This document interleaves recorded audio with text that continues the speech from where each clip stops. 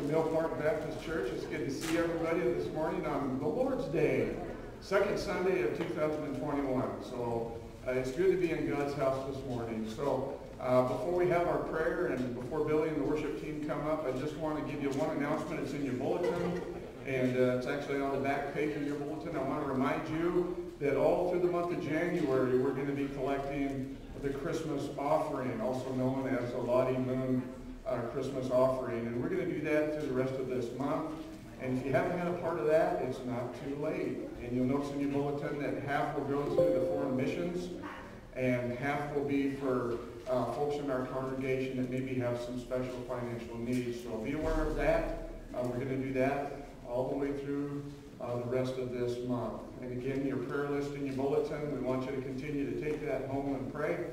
Uh, God answers prayer. He's faithful uh, in answering our prayers. So we want you to just take that prayer list home and continue to pray for the ministries and the people that we have on here. If there's somebody that you know that needs to be on our prayer list, would you see either me or Jerome, and we'll make sure that that gets updated every Friday. But please uh, continue to pray. God is so good to us. He's so faithful to us, and he's a God that still answers prayers. So let's bow for word of prayer as we begin, and then the worship team will come up, and we'll have a great opportunity to worship our Lord and Savior, Jesus Christ. Let's pray. Father, thank you so much for just another day where we can gather in your house, in your presence, and where we can love you, serve you, worship you, and give thanks, honor, and glory to you because you are worthy. Father, we thank you for the opportunity, for the freedom that we have to come and we just give this service to you, every part of it. The word as it's given out, the singing, the giving. Father, we just want your name to be lifted up on high because you are so worthy. We love you. And we just ask a special blessing on our service today. In Jesus' name, amen. All right, good morning. Please stand with me and uh, turn in your hymnals to hymn number 202. 202. And before in the past, uh, for the duration of the music service, we stand, but at any time, if you need to take a break and have a seat, feel free to do so. so we're going to sing All Hail the Power of Jesus' Name, page 202.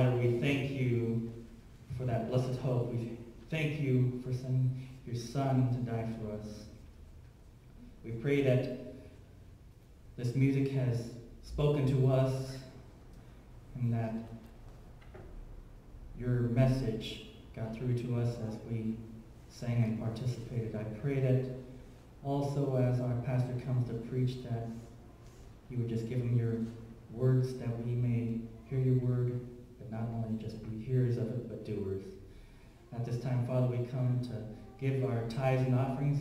We pray that it would further your word. We ask it in Jesus' name. Amen.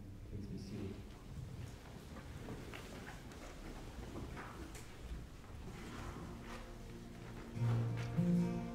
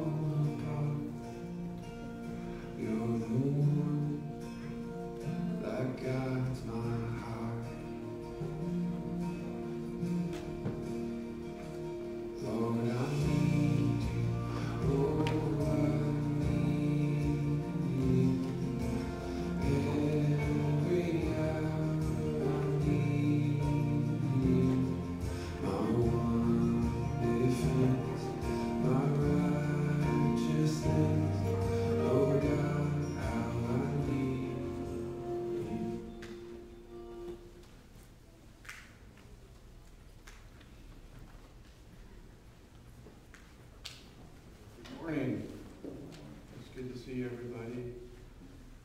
I hope your week was blessed. And uh, remember that uh, God is in control. The second Sunday of 2021 today. Um, and as we begin, let's just bow for prayer and, and ask that the Lord be honored and glorified in everything that we say. Father, it's a blessing to be back in your house today and to be able to worship you. And Father, we just uh, come to this time now where the word is given out. And I pray that it would go forth in power and that it would encourage, that it would strengthen, and that it would bless all of us today. Thank you for your word and the preciousness of it. And that we just pray a special blessing upon the next few minutes. In Jesus' name, amen. Have you uh, wondered what the new year is going to be like? 2020 was definitely a year of many challenges and uh, trials and disappointments. See, a year ago we had no idea uh, that COVID-19 was going to infiltrate us as a church, us as a nation, and the world. A year ago we had no idea that a large portion of the United States would burn. California, Oregon, and Washington suffered the fallout of many wildfires. And many people were displaced and lost everything.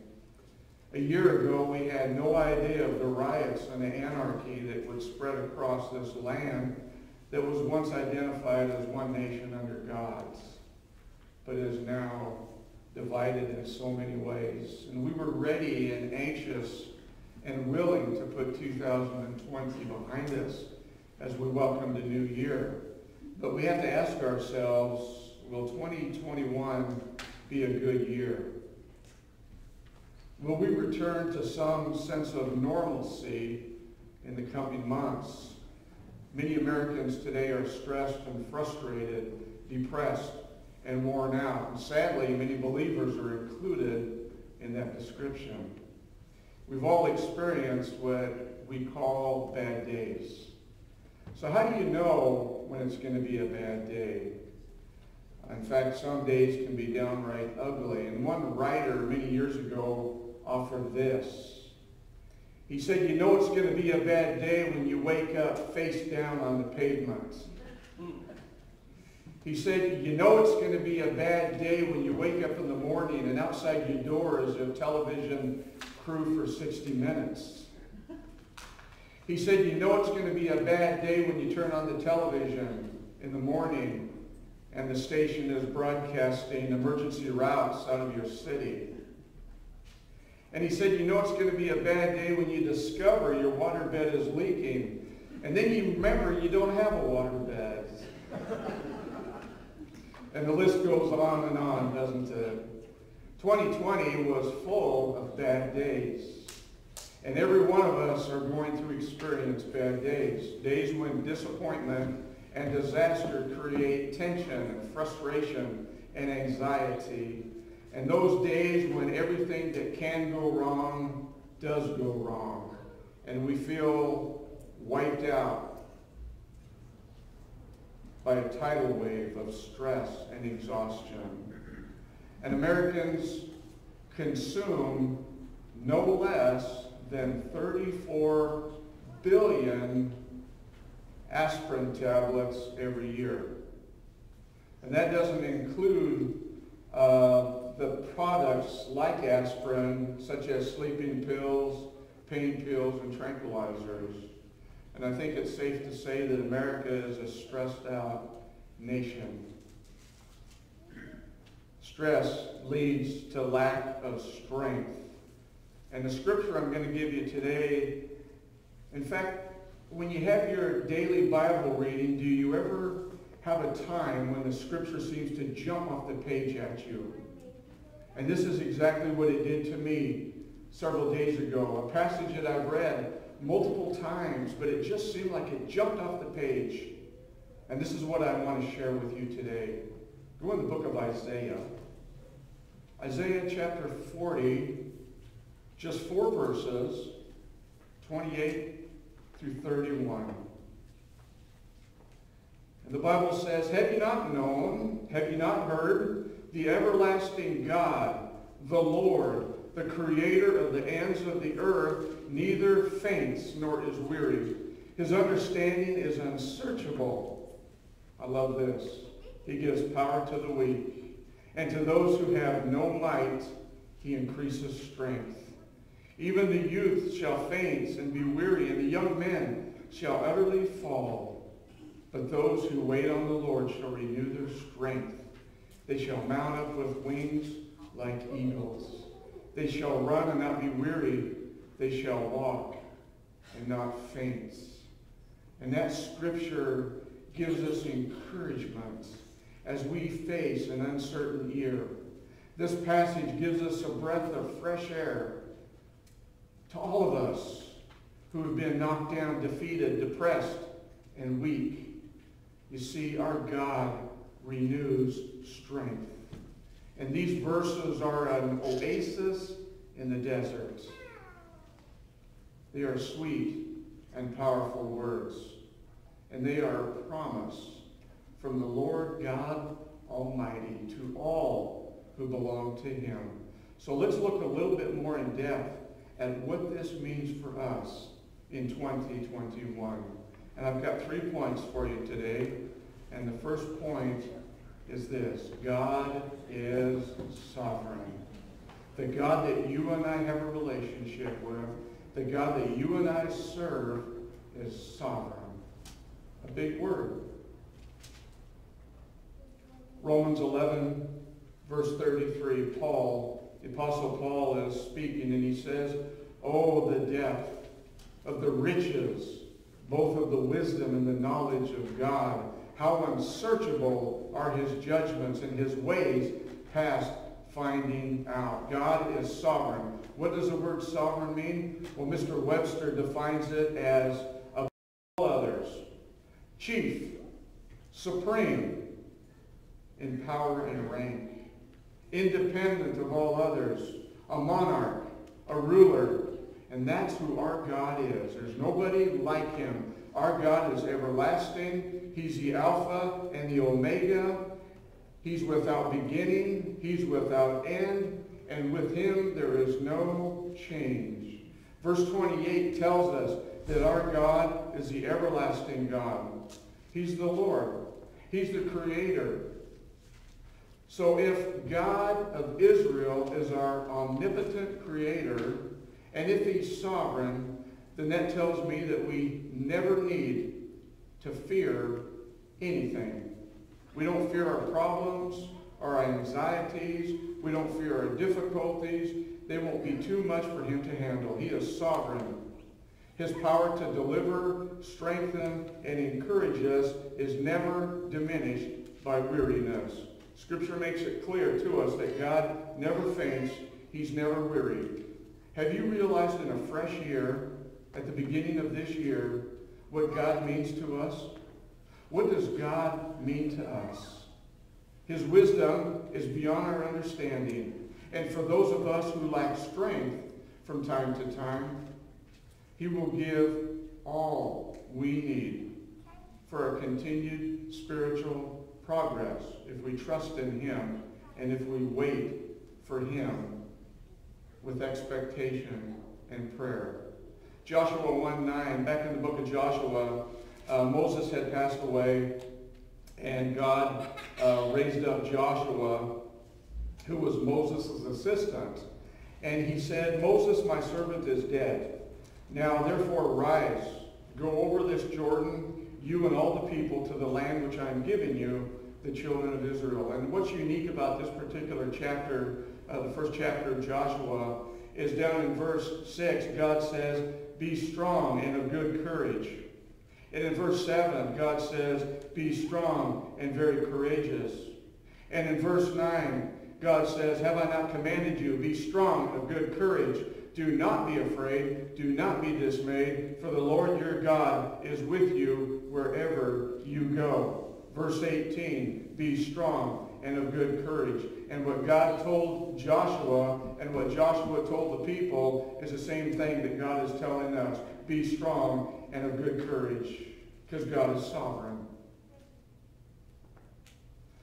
Psalm 27, 14, David writes this. He says, Wait on the Lord, be of good courage, and he shall strengthen your heart. Wait, I say, on the Lord. And at times it's hard for us to wait on God. But the promise of Scripture is clear that if we wait in God's time, we will be strengthened. That's a given. That's a promise. Let me ask you two questions. Number one, do you know how to receive God's strength in your life when the going gets rough? Number two, do you know how to rest in him when all hope for the future seems to be gone? And the answer to that is found in Isaiah 40, verse 9. And this is good. Isaiah 40, verse 9. O Zion, you who bring good tidings, get up into the high mountains. O Jerusalem, you who bring good tidings, lift up your voice with strength. Lift it up. Be not afraid. Say to the cities of Judah, look at those last three words, Behold your God. Behold your God. You see, this verse contains a simple but a very powerful statement. And that phrase, behold your God, means so much to us today. From this simple statement, we see an important first step. When troubles come our way, we should immediately focus on God. Now, I don't know about you, but if you're like me, we don't do that. We tend to wring our hands and stress out and get frustrated and look for a way that we can fix it. But Scripture makes it very clear, behold your God. That's the first step when problems and stress and anxiety comes our way. Behold your God.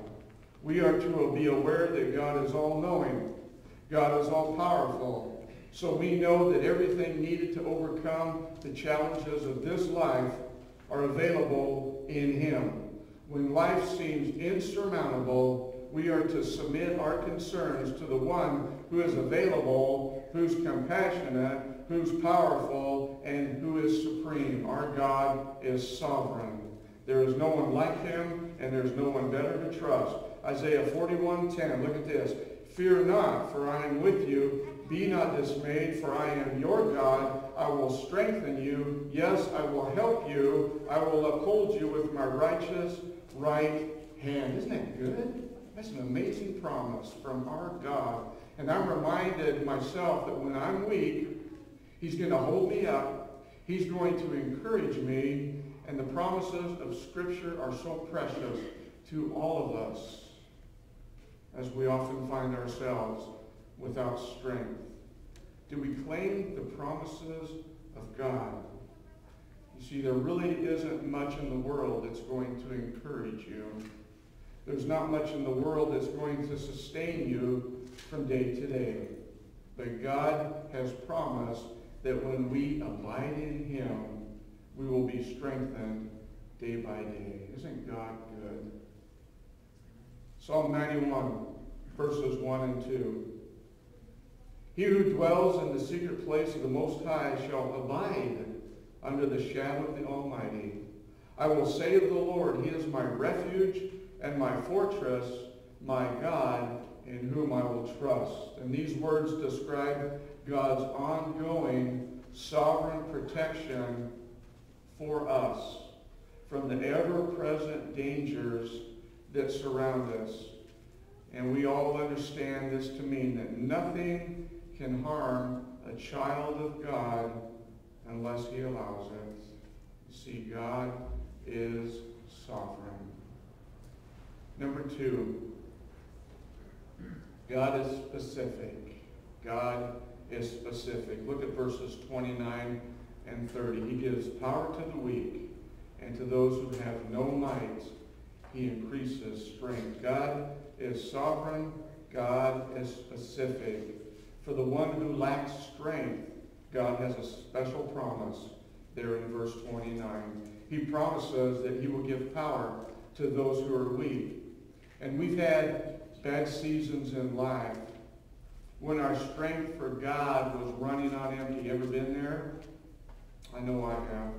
Days where we wondered whether or not we would ever regain that excitement that we once had for him. But you see, God will not only give power to those who are weak, but God will also increase our strength. But we have to abide in him. That's the key. We have to abide in God. As we submit to him, as we spend time in the Word, as we spend time in prayer, God will be faithful to his promises to do what he said he will do. How do we know this? Because Titus chapter 1 verse 2 says that God cannot lie. Everything we see in the scripture and we read in the scripture is absolute truth. He's faithful to us as we commit to him. Now, commitment in the life of a believer is so important. We're to be committed to Christ day by day. And the daily discipline of spending time in his word and spending time in prayer is so important, especially in a world that for the most part has removed any reference to God. It's so important that we learn to abide in Christ now more than ever before. Life is full of disappointments, and we often lose the strength that is needed to live for God. But as long as we commit to God in obedience and holy living, we're going to find the strength that he promises in his word. Have you ever thought recently of all that God does for us? There's so many things that he does for us on a daily basis. Let me highlight just 10. And I'm going to give you what he does. I'm going to give you the scripture reference. And this is going to be kind of a rapid fire thing. So if you're taking notes, write fast, okay? Some of the things that God does for us on a daily basis. He's promised to walk with us. And he's promised to walk with us in good times and even in bad times. Hebrews 13, 5, I will never leave you nor forsake you. You see, he walks with us. He's promised that. Number two, he guides us. Proverbs 3, 5, and 6. Trust in the Lord with all your heart and lean not on your own understanding. In all your ways acknowledge him, and he shall direct your paths. He guides us day by day. Number three, he listens to us. He listens to us. 1 Peter chapter 3, verse 12. For the eyes of the Lord are on the righteous, and his ears are open to their prayers. But the face of the Lord is against those who do evil. He listens to us. He encourages us. Psalm 46, 1. God is our refuge and strength, the very present help in trouble. And if there's ever a day when we need to be encouraged, we're living in those days, aren't we? He encourages us. us. Number five, he empowers us. Philippians 4.13, I can do all things through Christ who strengthens me. He provides for us. Philippians 4.19, and my God shall supply all your needs according to his riches and glory by Christ Jesus. Number seven, he protects us. Psalm 138, 7. Though I walk in the midst of trouble, you will revive me. You will stretch out your hand against the wrath of my enemies, and your right hand will save me. Number eight, he forgives us. A scripture that you're all familiar with and one that I use probably on a daily basis. 1 John 1 9. If we confess our sins, he's faithful and just to forgive us our sins and to cleanse us from all unrighteousness. He forgives us. Number nine, he loves us unconditionally. 1 John 3.16. By this we know love because he laid down his life for us. He loves us unconditionally. He loves us eternally. And God sent Jesus to the cross. And when Jesus was hanging on the cross, he was thinking about all the people that were going to be born after him, including you and I. And he knew that we were sinful, but he loved us unconditionally because he laid down his life for us. Number 10, he secured eternity for us. John 10, 28. And I give them eternal life, and they shall never perish. Neither shall anyone snatch them out of my hand. You see, those are just 10 things that God does for us. 10 things that he's done for us. And we love him for that. And meditating on these truths will renew your strength and your joy. And if you find your strength has been depleted, saturate your life with God's Word. Saturate your life with God's Word. And meditate on the sovereignty of God and the promises of the one who will uphold you with his righteous right hand. Pastor Troy has said many times how important Scripture saturation is. And that is so true. Commit the Word of God to memory. When you're going through a tough time, select a verse that is applicable to that situation you're going through and saturate your life on that. You'll be strengthened. You'll be renewed. And with that will come joy. Scripture saturation. Remember what Jesus did when he was tempted by the enemy in the wilderness? He quoted Scripture. And the Bible says that Satan left him. You see, Satan's not going to hang around if we're saturating ourselves with the Word of God. It's so important to commit God's Word to memory. Strength. God will strengthen us. Let me give you three quotes. Uh, the first one, first one from D.L. Moody. and he said, when a man has no strength, if he leans on God, he becomes powerful. That is so true. And Hudson Taylor has said this, do not work so hard for Christ that you have no strength to pray, for prayer requires strength. Henry Ward Beecher has said this, and I love this. The strength of a man consists in finding out the way in which God is going and going that way too. Commitments. David writes to us in Psalm 18, verses 1 and 2. And this is after he was delivered from Saul. David had a tough time because Saul was chasing him down, wanting to take him out. But after he was delivered, David penned this, and I'm sure he was rejoicing as he wrote these words. I will love you, O Lord, my strength. The Lord is my rock, my fortress, my deliverer, my God, my strength, in whom I will trust, my shield, the horn of my salvation, my stronghold. Both defensively and offensively, God is all we need in the tough battles of life. And I'm reminded that even, even the strongest people get tired at times, but God's power and God's strength will never diminish. And I'm reminded that God is never too tired. He's never too busy to listen and to help his children. And I'm reminded that I can always call on God to renew my strength because his strength is the source of our strength. And we have confidence in the fact that God will always comprehend our particular situation. He will always understand the situation that we're going through, and he will, no matter how difficult it is, see us through that and give us strength to deal with it. No matter who we are, no matter where we are in life, God is specific as he promises to give to us power and strength when we're weak and when we have no mights.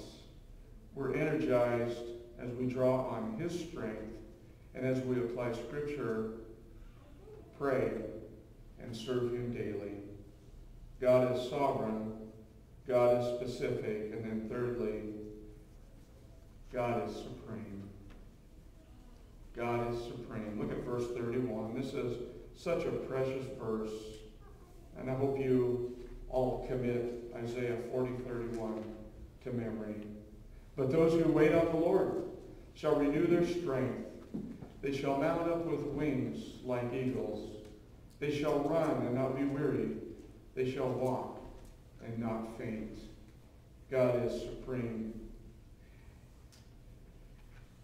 As if God's strength and understanding were not enough, verse 31 tells us that he offers even more when we're willing to wait upon him. He will provide for us new strength that will enable us to soar like the eagle. And what a wonderful image for times of despair. And the key word in this verse is wait. All the great people of the Bible learned that discipline of waiting on God. It's difficult, but it's necessary. And that goes for us as well. Waiting is necessary if we were to be useful to God. And waiting on God is the patient expectation that he will fulfill his promises that we find in Scripture and that he will strengthen us to rise above the challenges and the difficulties of life. It means to completely trust in God because God is all-powerful, God is all-knowing, and God is present everywhere. See, God is supreme. And he wants us to renew our strength and to enjoy the abundant life that he provides. And sometimes the key to that is to simply wait. And as we wait on him, he's going to remind us of our total dependence upon his strength as a baby gives total dependence upon the mother. And waiting on God is always active. Waiting requires us to stop our own agenda and to give God our complete attention. Waiting is one of the hardest things to do because we want to be people of action. But waiting forces us to rely on God. And David learned what it, what it meant to wait because he was chosen to be the next king of Israel. But he spent years waiting for the day that God's word would finally come to pass in his life. He also enjoyed the reward of waiting upon God.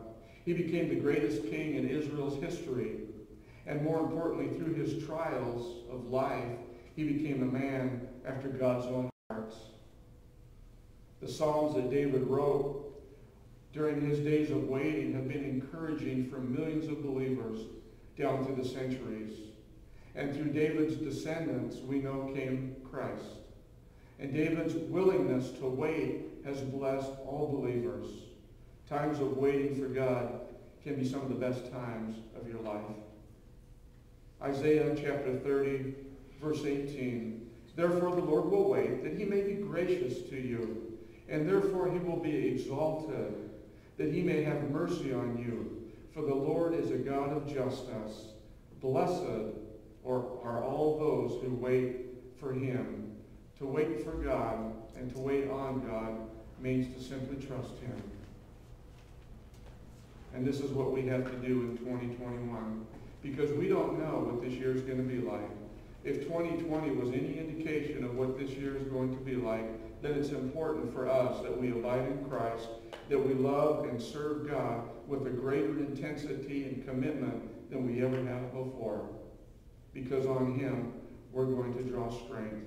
And he promises strength to those who are without. If we simply wait on the Lord, he will renew our strength because he's faithful to his promises. God is so good to us. He's faithful. He's sovereign. He's specific. And he's supreme. We serve a wonderful, wonderful Savior. So as you think about the difficulties in your life, think of receiving from God the ability to rise up and over the problems and the challenges of life with the grace and the power and the beauty of an eagle in flight. This incredible strength is available to each one of us right now if we're willing to exchange our weariness for God's help. And there's nothing that we have to do to earn this. All we do and all he asks is to simply trust him. Hand over to him that which seems hopeless, allowing him to restore your faith for this year. 2020 was a very difficult year, and 2021 so far hasn't been any easier. And we know that as history wraps itself up, that the enemy is going to be more active in the affairs of our lives, in the affairs of our nation, and in the affairs of the world. And we can see his workings, can't we, all around us. But I like what Janice prayed in our prayer time this morning. She says, we've read the back of the book, we win. We win. And that's a hope that we can just anchor our lives onto. And the secret is abiding in Christ, praying, reading his word. In closing, and I've said this before, but it's such a great illustration, and I want to say it again. And it talks about an eagle in flight. And it's been written, and it says, do you know that an eagle knows when a storm is approaching long before it comes? The eagle will fly to some high spot and wait and wait for the winds to come. And when the storm hits, the eagle sets its wings so that the wind will pick it up and lift it above the storm. While the storm rages below, the eagle is soaring above it. You see, the eagle has not escaped the storm. It simply uses the storm to lift it higher. And isn't that what we are to do as Christians? When the storms of life come, to set our wings above it by staying close to God, by staying in his word, by praying at all times, by waiting, and by exercising a childlike trust in the one who promises to give power and to renew strength. He's promised that. He's faithful to his promises. And join me in doing that exactly in 2021. You see, the world will not strengthen you. The world will do whatever it can do to remove your strength and to take away your joy as God's child. Determine today, right now, to make Christ the Lord of your life in every area. If we do, then this year, no matter what happens, will be a, a year of victory for us. You see, we serve the everlasting God, the Lord, the Creator, who never faints and is never weary. We can trust him with our lives when things are uncertain at best. And this world is shaky, isn't it? Place your trust in the one who does not change. God is sovereign, God is specific, and God is supreme. And he's the one that we serve. He's the one we have a relationship with. Hebrews 13, 8. Jesus Christ is the same yesterday, today, and forever. Amen. We're going to come to a time of invitation, and uh, this is the most important time of the service. This is the time where we have the opportunity to respond to what God has told us to do. And I don't know what your need might be. Maybe the storms of life have taken you down a few notches. Now's the time to come and recommit to Him in 2021 and to make him the Lord of your life and everything. He's in charge. Make him the Lord of your life. If God is speaking to you about joining Mill Park Baptist Church, I encourage you to come forward. Pastor Troy will be at the front to receive you. This is a great church. It's a church that loves one another, but more importantly, it's a church that serves God and wants the very best for us.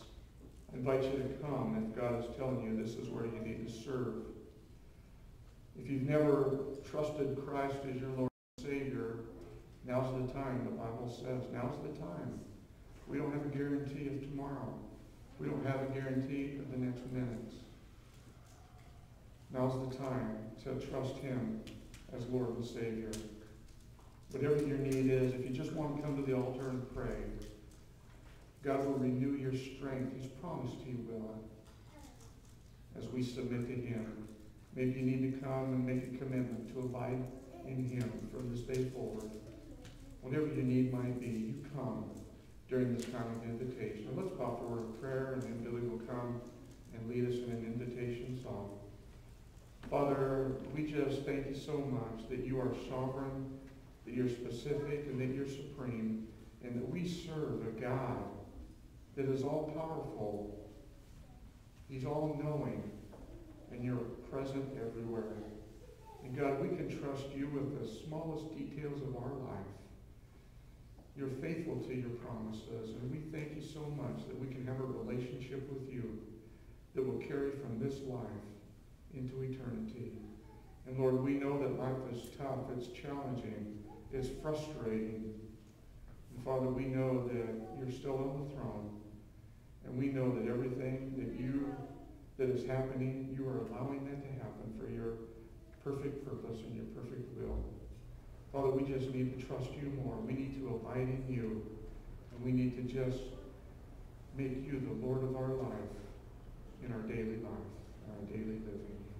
I pray that you bless this invitation. And Father, that you speak to people in a way that only you can, and that we would respond. And Father, that we would just continue to serve you, to love you, and that everything we do would honor and glorify you. We ask this in Jesus' name. Amen. We stand,